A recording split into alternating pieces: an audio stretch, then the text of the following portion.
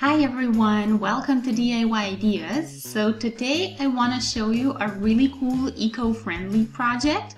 So I wanted to show you how you can make a baggie for shopping, so these are usually used for um, veggies and fruits, but you can use them for pretty much anything else as well. So the project is going to be super simple. As I mentioned, eco-friendly since the baggie is reusable and that way you don't use as much plastic and you have a really nice, really pretty baggie as a result. So let's get started. Stay tuned.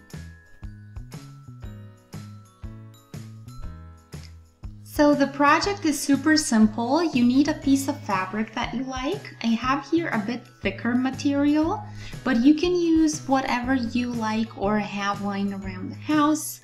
Cotton, stretchy materials, whatever. And that's gonna be our rim. The baggie itself is out of a thinner material, something super thin and if possible, transparent too and then a nice band or rope or whatever you like, maybe even a shoelace and some safety pins. Also, we're gonna use some thread, fabric scissors, and something to measure with, and we will use our sewing machine. I didn't have a lot of this material, so I'm kinda limited in my baggy size, but I think it should work. So it's 18 times 20 centimeters or originally 18 times 40, the piece itself.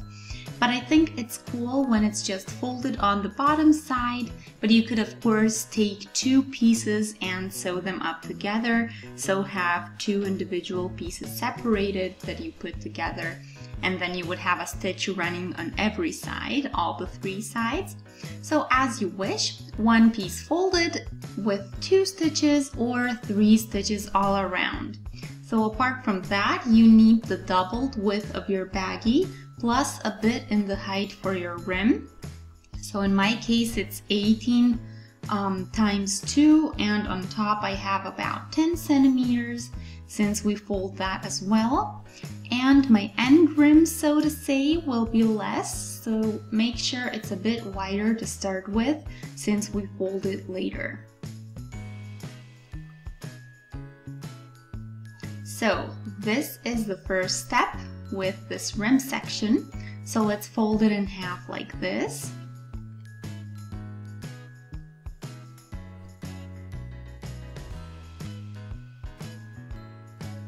I forgot to say, feel free to use pins to make things easier for you. And then do a straight stitch along the longer side. The two ends should remain open. So I forgot to tell you that before you fold this together, you need here a section also folded and then you have it easier later when you want to turn it inside out and it will look much neater. And your edges are going to be much nicer um, as an end result, of course.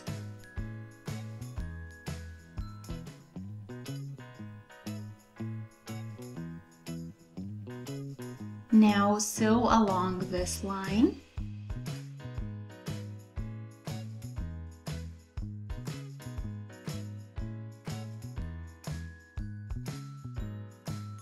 And now you can put your bag section together, fold the piece or pieces together, and sew along all the sides that need a stitch, and leave the top section open.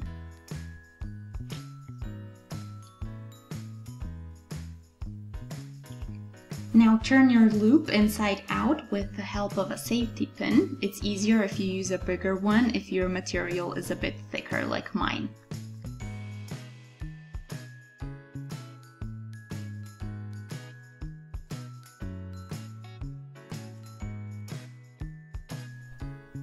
Now you need both your pieces.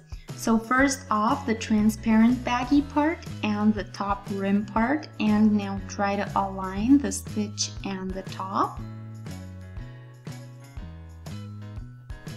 You can also leave a bit of the rim above the actual ending of your transparent fabric or your thinner fabric and then sew together and you can again use pins.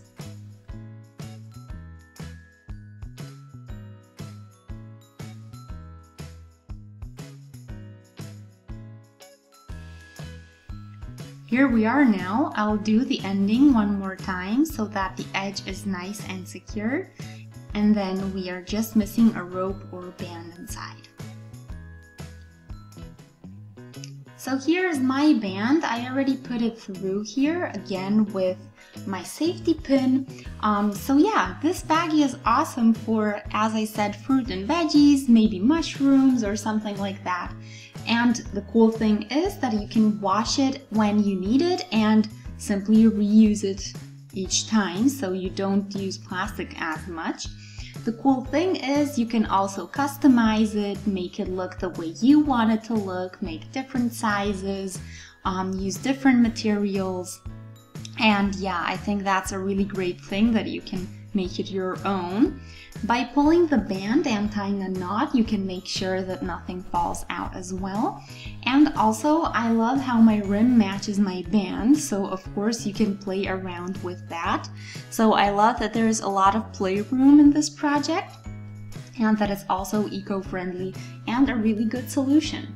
So I hope you guys enjoyed. Feel free to let me know in the comment section what you think. You can also subscribe to our channel for free and that way you get notified every time we post something new. You can also shoot us a thumbs up if you liked this video and would like to see more and feel free to share with your friends. Thanks for watching, I'll see you next time. Bye!